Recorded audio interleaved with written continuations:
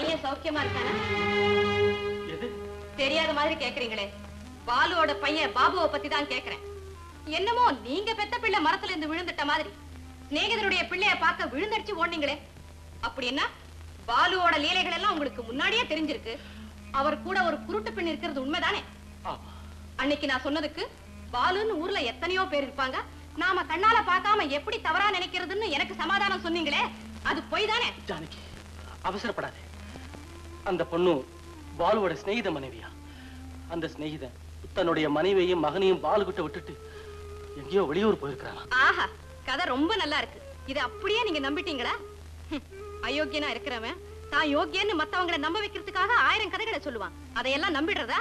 சிநேகிதனுடைய மகன் உன்னை ஏன்டா அப்பான்னு கூப்பிடுறான்னு பாலுவை நீங்க ஒரு வார்த்தை கேட்டிருந்தா குட்டு வெளிச்சமா இருக்கும்? ஜானகி வீணா சந்தேகப்படாதே. பாலு சொன்னது உண்மையாகவே இருக்கலாம். சரி உண்மையாவே இருக்கட்டும். இதை ஏன் முன்னாடியே அவர் உங்ககிட்ட சொல்லல? நான் தெரிஞ்சுக்க வேண்டிய அளவுக்கு அது ஒண்ணும் அவ்வளவு முக்கியமான விஷயம் இல்லையே. என்னத்தான் இப்படி சொல்றீங்க? எங்க ரெண்டு பேருக்குள்ள தெரியாத விஷயமே இல்லைன்னு நீங்களே பல தடவை சொல்லிருக்கீங்களே. இந்த விஷயம் மட்டும் எப்படி உங்களுக்கு தெரியாம போயிடுச்சு? பாலு இதை உங்ககிட்ட மறைக்க வேண்டிய அவசியம் என்ன?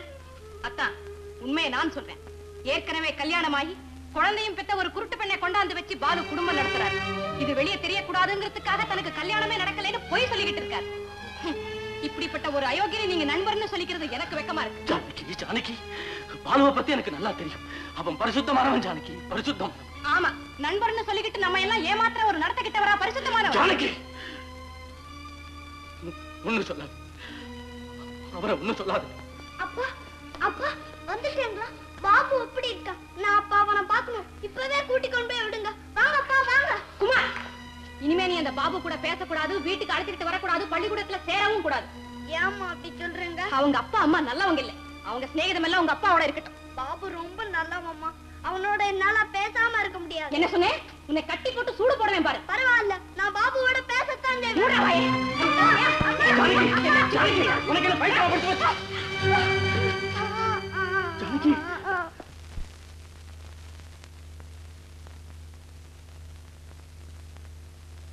அண்ணா பாபு.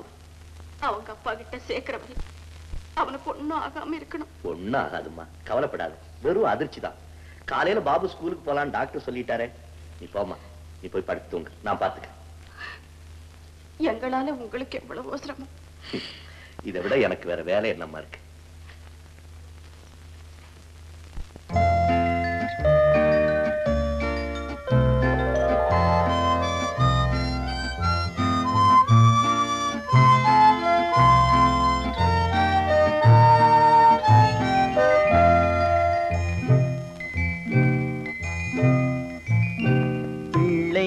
தந்தை ஒருவன்.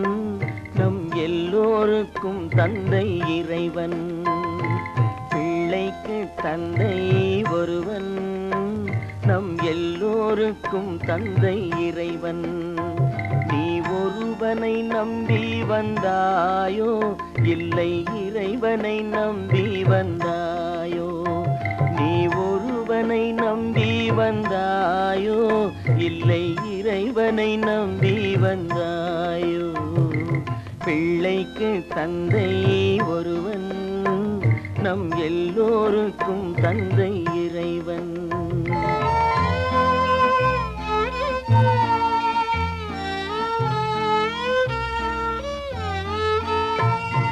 தாயாரை தந்தை மறந்தாலும் தந்தை தான் என்று சொல்லாத போதும் தாயாரை தந்தை மறந்தாலும் தந்தை தான் என்று சொல்லாத போதும் தான் என்று சொல்லாத போதும் ஏனென்று கேட்காமல் வருவான் நம் எல்லோருக்கும் தந்தை இறைவன் இறைவன். பிள்ளைக்கு தந்தை ஒருவன். நம் எல்லோருக்கும் தந்தை இறைவன்.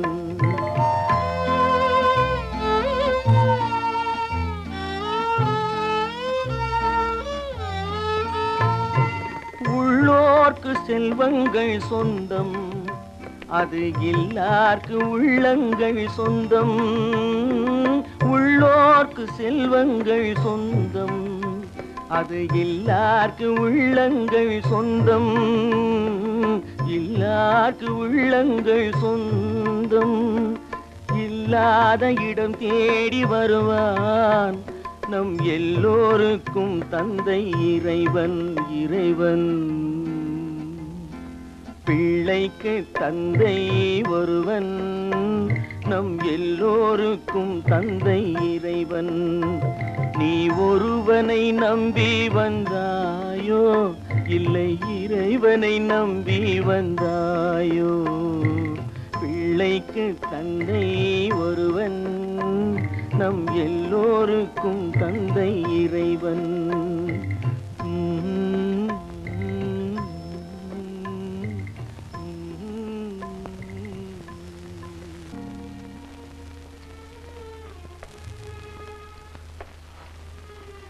ஆ, இந்த.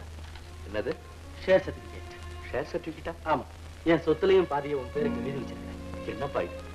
எல்லாரும் பார்த்து பொறாமப்படுற அளவுக்கு எனக்கு இந்த பதவியை கொடுத்துருக்கிறேன். மேற்கொண்டு இது எதுக்காக?